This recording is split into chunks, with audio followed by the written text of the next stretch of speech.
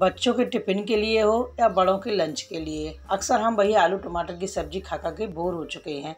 तो क्यों ना आलूओं को आज अलग तरीके से बनाया जाए? तो सबसे पहले क्या करेंगे? 500 ग्राम आलू ले लेंगे, उन्हें अच्छे से छील लेते हैं। छीलने के बाद में बड़े बड़े से इसके इस तरह से हम टुकड़े काट लेंगे।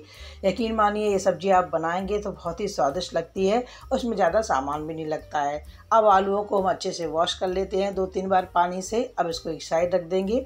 अब चूल्हे पर रख देते हैं हम कढ़ाई को। उसमें डाल देंगे एक बड़ा चम्मच भर करके हम सरसों का तेल। मैं जब भी सब्ज़ी बनाती हूँ तो उसमें सरसों के ही तेल का इस्तेमाल करती हूँ। आप चाहें तो यहाँ पर रिफाइंड भी डाल सकते हो। अब हम क्या करेंगे? दो चम्मच भर करके डाल देते इसमें हम जीरा। जीरा की मात्रा थोड़ी सी हम और सब्जियों की अपेक्षा यहाँ पर ज़्यादा लेंगे। क्योंकि जो मैं सब्ज़ी बनाने जा रही हूँ, उसमें हम दो चीज़ों का ही स्वाद लाएँगे। उसमें लेते हैं हम एक जीरा और दूसरा लेंगे हम हरी धनिया। तो बस जीरा अच्छे से भुनने लगा है। अब इसमें डाल देते हैं हम हरी मिर्च। तो हरी मिर्च को आप अपने स्वाद के अनुसार ले लीजिए। जिस तरह से आप ज़्यादा खाते हो तो थोड़ी सी मिर्ची को यहाँ पर बढ़ा भी सकते हो। मैंने तो यहाँ पर तीन मिर्ची छोटी छोटी सी लेकर के काट के डाल दिया है। अब हम वो जो आलू मैंने काट के रखे थे, उनको इसमें डाल देंगे और अच्छे से इन्हें हम मिलाएँगे। तो इससे पहले क्या करेंगे, इसमें ले लेते हैं हम नमक। स्वाद के अनुसार इसमें नमक डाल दीजिए। सब्ज़ी में जो नमक पड़ता है, वो मैं यहीं डालूँगी, बाद में कोई भी नमक नहीं डालूँगी।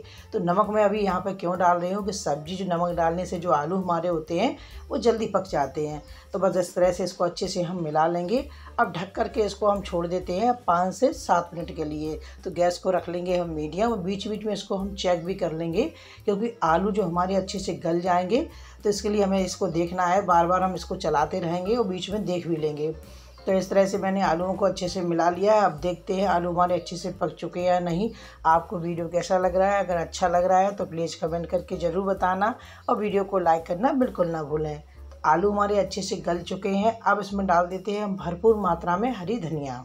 धनिया डालने के बाद इसको हम दो से तीन मिनट के लिए और ढक कर के पकाएँगे। वैसे तो आपने कई बार धनिया की सब्ज़ी खाई होगी, जिस तरह से हम धनिया को पीस करके कई बार सब्ज़ी बनाते हैं। एक बार इस तरह से बनाइए, आपको यकीन मानिए, बहुत ही स्वादिष्ट लगेगी और आप बार बार इसको ही बना करके खाएँगे। तो ये रही आपकी धनिया आलू की सब्ज़ी। आप भी बनाइए, खाइए एंजॉय कीजिए और मैं फिर याद दिलाना चाहती हूँ। वीडियो को लाइक सब्सक्राइब और शेयर करना बिल्कुल ना भूलें।